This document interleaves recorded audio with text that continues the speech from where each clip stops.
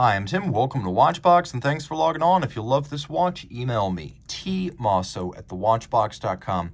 Your purchase and pricing email question line for buying this or any watch you see on any Watchbox platform. Please reach out to me directly. Email tmosso at thewatchbox.com for pricing details. Today, we're discussing a lovely and full-figure discontinued white gold Rolex Oyster Perpetual Day Date 2. This is reference 218239, 41 millimeters in diameter. It is a watch that was made as part of the Day Date 2 family between 2008 and 2015, after which they were discontinued for the Day Date 40s. So the watch is 12 millimeters thick in addition to 41 millimeters in diameter, from lug tip to lug tip 49.5 millimeters, and from end link to end link across the President bracelet, 53.1 millimeters with a 21 millimeter spacing between the lugs. The watch wears well on my wrist, though I wouldn't wear it on a much smaller wrist than mine. I believe that because the President bracelet on the Date 2 features solid end links as opposed to the hinge end links of the Day Date 40, this is a watch that needs to be worn on a wrist of at least 15 centimeters circumference. Any smaller, and you want to look at a 39 or 36 millimeter Day Date. It is flat, however, and with a sloped bezel, it slides easily underneath the dress cuff. All in white gold, I'm impressed.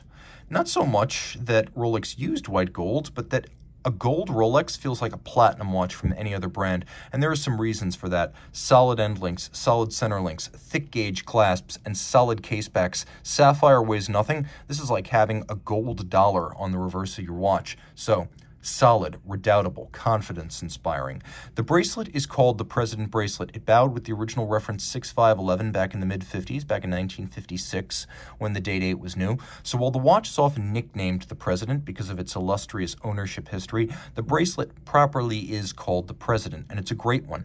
The profiles of the links are small, so it has the silky, supple feel of the Jubilee, but then it's a three-link design, so you don't have a lot of small links moving around, so it has the solidity that you find in the Oyster sports bracelet. Plus, it has better ventilation on the wrist than the Oyster, so it's really the best of all worlds. There's a conforming end link. There's a little bit of taper. It is present.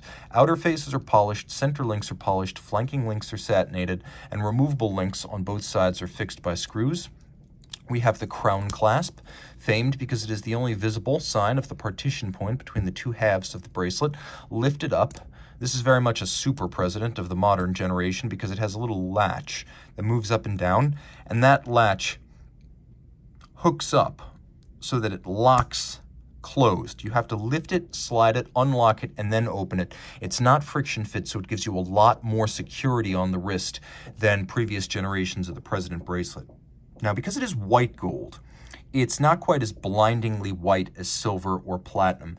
Rolex has its own foundry. It makes its own cases, clasps, and bracelets, and it makes its own alloys. Rolex white gold is white all the way through. It's what is called gray gold in the industry. So gray gold is a little bit warmer than rhodium-plated white gold, but unlike rhodium-plated white gold, it never needs to be replated, and if scratched, there isn't a different color underneath. So gray gold is what you want to see. It's what, for example, Jaeger-LeCoultre, and Patek Philippe use.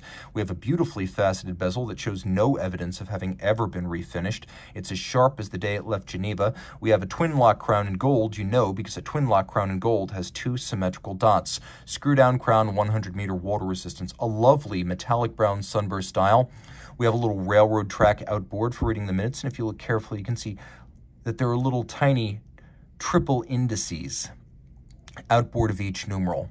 And then we have faceted baton-style hands, Roman numerals in white gold, along with the hands and the Rolex crown, the idea being that white gold will not tarnish over time, and they're nicely color-keyed to the case and the bezel. We have a watchmaker's 4 rather than a standard Roman numeral 4, and it is, of course, a day and a date, so it has both. There's a hacking seconds function. There's also a double quick set, so you can rapidly quick set the date, but then you can also rapidly quick set the day. It is a double quick set. And the Cyclops Eye magnifier fits better on the bigger Rolex watches, which is nice here because it doesn't seem to crowd out the dial, but it's still very practical as a date magnifier. Solid case back, oyster case, but you already know that. We talked about it earlier. Inside, we have Rolex caliber 3156, which is a version of the Day Date 36 movement that has bigger discs, for example, for the day and the date, and Rolex's proprietary Paraflex shock protection system. Caliber 3156 was only ever used on the Day Date 2. automatic winding with bidirectional winding action. It has the double quickset and the hacking seconds, a 48-hour power reserve, 31 pivot jewels. It beats weight 8 beats per second. It is a COSC certified Swiss chronometer. It has a full balance bridge and a free sprung index to make the watch easy to adjust precisely, but also very shock tolerant.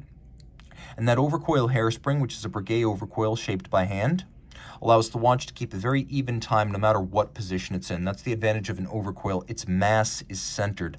And it is a blue oxidized niobium zirconium alloy that is highly anti-magnetic. So shock resistant, water resistant, and anti-magnetic. And you can wear it as a dress watch. Reach out to T Mosso at thewatchbox.com for purchase and pricing details.